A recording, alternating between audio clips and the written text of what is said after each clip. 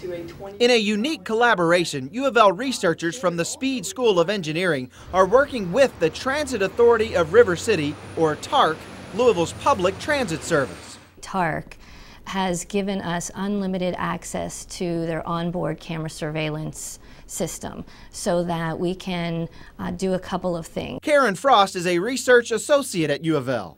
This study is one dimension of the overall project funded by the National Institute on Disability and Rehabilitation Research. Gina Bertocci leads the group.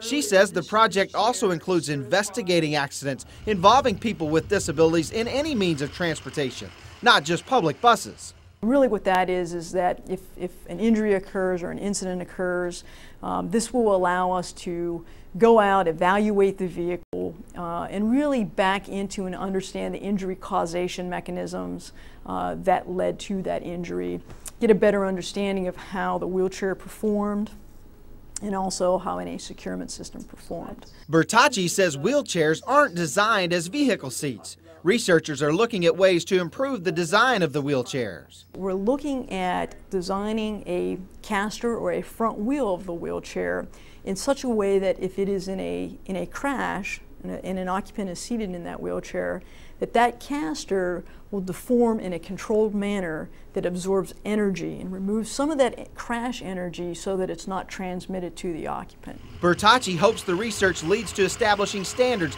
that manufacturers must use when building the wheelchairs. The project is a joint venture with the Universities of Michigan, Colorado, and Pittsburgh.